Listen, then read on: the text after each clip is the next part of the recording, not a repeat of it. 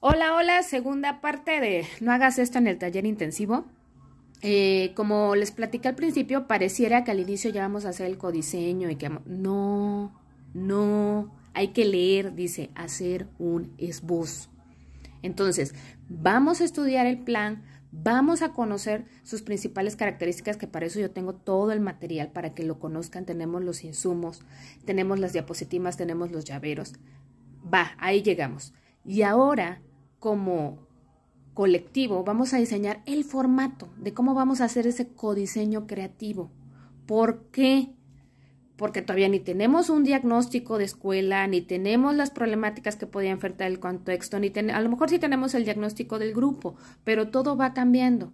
Tenemos como que diseñar el formato, porque ahí es cuando vamos a agarrar el programa sintético y con nuestros diagnósticos, ahí sí vamos a hacer un diseño, y ya lo vamos a plantear en un proyecto y demás pero ahorita no, solo se va a hacer como el formato. ¿De qué me sirve hacer ya un codiseño si no sé para qué sirve un eje articulador? Si no sé qué persigue el campo formativo, si soy maestro de secundaria y no sé en qué campo formativo va la asignatura que imparto, si estoy perdido, si no reconozco el perfil de egreso. Muchas de esas cuestiones.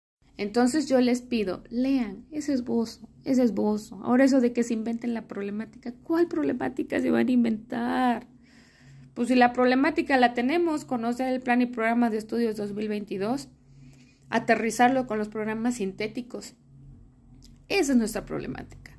No inventen cosas.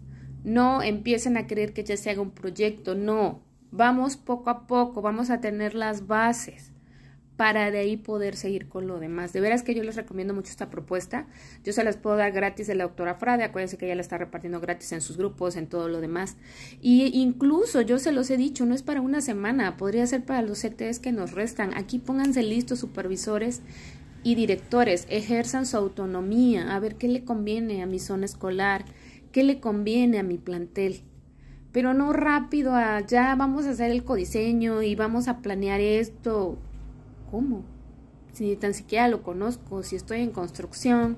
Pero bueno, es, esta es mi aportación. Ojalá que hagan caso, ojalá que nos llevamos leve y no nos carguen de más trabajo del que ya tenemos. Recuerda seguirme en todas mis redes, cómprame mi paquete de 199 y si ya me compraste, pídeme la liga para los planes sintéticos anteriores y también ya estamos dando un archivo especial del plan analítico y plan sintético que es una infografía para que la tengan listo para todos ustedes. Gracias por seguirnos, ayúdenos a llegar a 10.000 en TikTok.